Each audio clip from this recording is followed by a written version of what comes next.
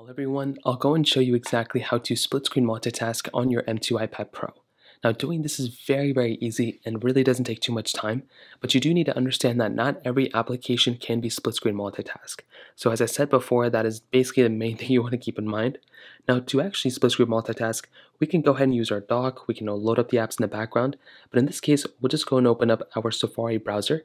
Now if you want to multitask from the dock, what you can do is swipe up from the bottom right here, and you can drag one of these applications to the side and you can basically you know open it up there so you can go ahead and open up your app store on the side of your specific thing by dragging it just like I did. Hold it down like you're moving it drag it and you can drag it to the side or this side of your Apple of your you know iPad as well.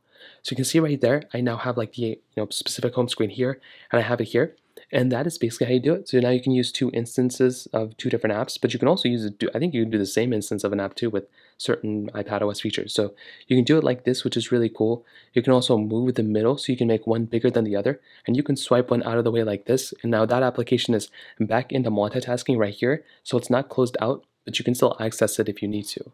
Now, if you want to multitask from the split screen multitasking view like here, what you can do is instead of dragging it from the dock, you can go ahead and just drag one application over the other one like this, and you'll be able to do the exact same thing as well. So that's pretty much how you do it. You can do it this way, you can go back into this application like this, and now you will see that, you know, the specific application is here, and the other application is there, and that is pretty much how you do it. If you have any other thoughts or questions, let me know in the comment section below. Hit the like button, that would mean so much, but definitely hit that subscribe button. More importantly than everything else, I love every single one of you guys. Hopefully I'll catch you guys in the next video. Peace out.